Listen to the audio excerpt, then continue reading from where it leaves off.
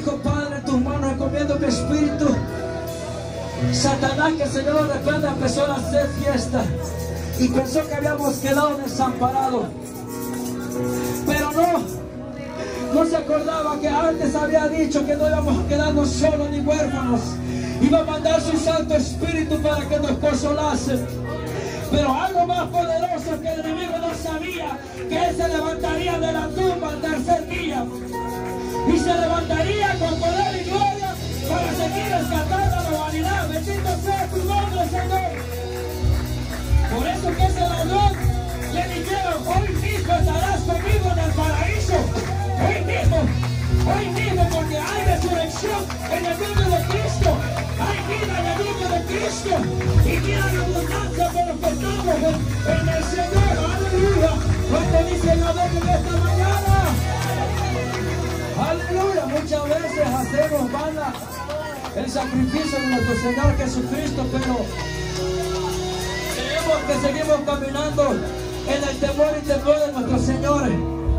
Y esto es lo que vamos a seguir haciendo, aunque el enemigo se levante, se levante tu vecino, tu vecina, es más, aunque se levante ese que tienes a tu lado, Ese que tienes a tu lado también es un pecador igual que yo.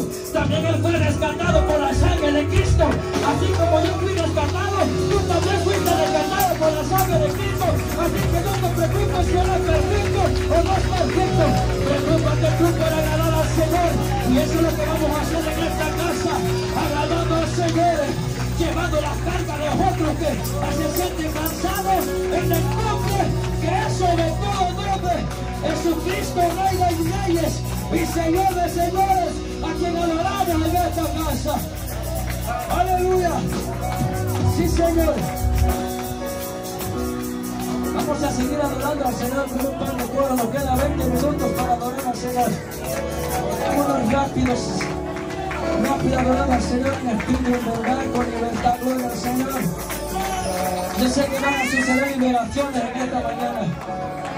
Listo muchachos, yo sé que van a suceder liberaciones en esta mañana.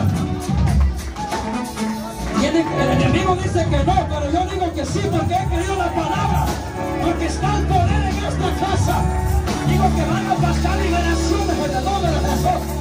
En el nombre poderoso de Cristo Jesús.